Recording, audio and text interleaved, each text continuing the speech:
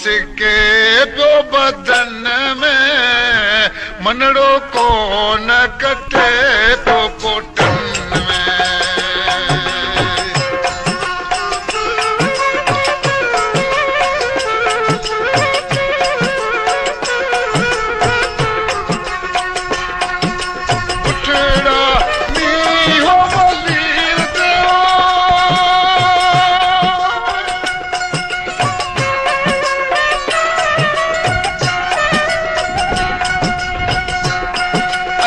来来。